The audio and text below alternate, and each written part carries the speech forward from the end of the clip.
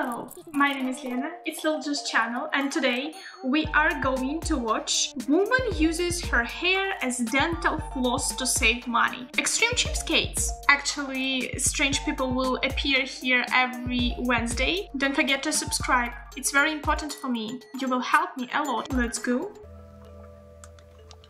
I like to use hair over dental floss.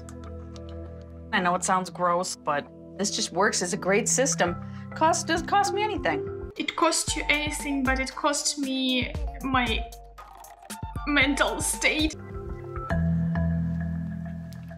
PR executive and single mother Kia Cambridge shares her suburban Wisconsin apartment with her 18-year-old college-bound son, Alex. Hi, Mom.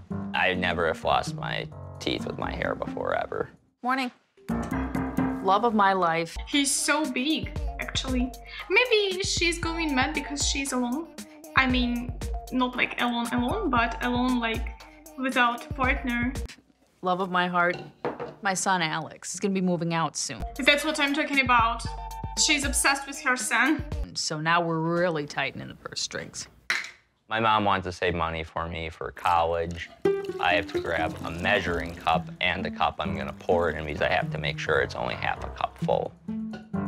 That, that gets kind of annoying after a while. What is the problem with college and with money? They really have so big problems with money in the USA, UK. Alex really gets irritated with things that I propose. It's she?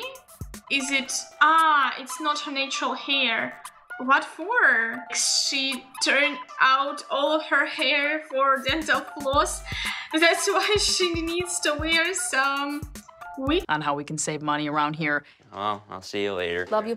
Bye. Seems like she has okay here. Every Monday, I go in, I get my latte, then I bring it home. To save money, I usually buy one large cup, and then I ration it out over the days. By rationing out the latte over three days, I'm able to enjoy the latte for a third of the cost. Maybe you just need to use instant coffee, not a latte. People likes to complicate their lives. What for you doing this instead of just using home brewed coffee? The lipstick marks indicate how many times that I've had to reheat this cup of coffee. On maybe the third day, it seems like you get this little Nice marks! this film on top that you gotta take off. That part's disgusting, but there's good stuff underneath that. What she's doing? What's it? I hope it's not a hair. I hope it's not a hair. It's not a hair. I just have a coffee also, and that's and now I don't want to drink it. Thank you, babe. Her coffee moments are probably the most absurd. Coffee cups like all stained and has lipstick all over it, and it's just kind of gross. Disgusting, boy, disgusting. I understand you. nice that you are not drinking like this. I keep my chewed pieces of gum in the freezer because it helps preserve the flavor. I usually chew one piece every three days. See, I start with a sit piece on Sunday. Ride that out till about Tuesday. Then we get to Wednesday, that's when I treat myself with a whole new piece of gum. With this system, I don't spend more than $10 a year on Just don't chew a gum? What is the necessity to chew a gum constantly? What for? Babe, if you want to save money, just don't don't purchase it. It's just nonsense. This is just nonsense. I refuse to try that because I don't even like gum after like two hours, much less like three days. You don't need to do that much to save money. Yes, yes. Food can be a distraction to other things that we need to get done. I like that crab, it's good. Alex and I will eat a buffet every day, once a day. I grew up going to buffets a lot, and she would really make sure I had a lot to eat and have that last us. She's obsessed with the wigs. It is one more week. So you have money to buy a lot of wigs, but you save money with this kind of shit? I don't understand. And you also waste money to dine out, but you save money using your hair. I don't understand. I don't. You really want to save money, or you are just obsessed with this idea? We eat one time a day, and we just pile it in. Eating one time a day, it's not healthy. Don't do it. You know, I'm gonna miss you. You know, I'm gonna miss you a lot. You're the light of my life, and I wanted to talk to you about something. Now, uh, your room. I want to sublet your room. But where am I gonna stay when I come back up? A nice, clean, quiet motel. How about the chaise lounge? I don't know. What for? With my son moving out, I want to take advantage of the empty nest. I don't feel good about my mom renting my room, but that's what she wants. and I'll have to let her do it. It's cruel, strange, and just obsession with an idea that you need to save money, but you actually waste money. I am sad because I will miss my mom because she has been very nice to me and good to me my whole time here. I love you very, very much. But I won't miss her frugal ways at all. I was expecting to leave with my whole bedroom, but instead all I got was my computer. Finally, this boy will become a real man and will understand that it is just a nonsense to live such a life. An air mattress and some clothes. This mom is like, oh, I will miss you. Bye. go, go, go. I will rent your room.